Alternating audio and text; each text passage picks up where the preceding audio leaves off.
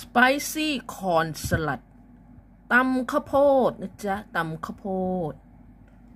กับแกล้มทานคู่กับตับย่าง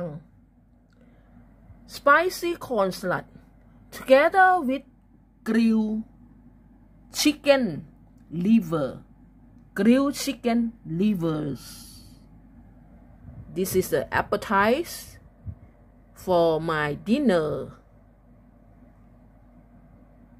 กินตับย่างนะจ๊ะ พี่น้อง กับตำข้าวโพด อาหารมื้อเย็นวันนี้นะคะ ที่สำคัญนะคะตำข้าวโพดต้องใส่น้ำปลาพี่ไม้สูตรนี้นะคะ อร่อยอร่อยค่ะ มาเด้อมาพี่น้อง มากินน้ำกัน อื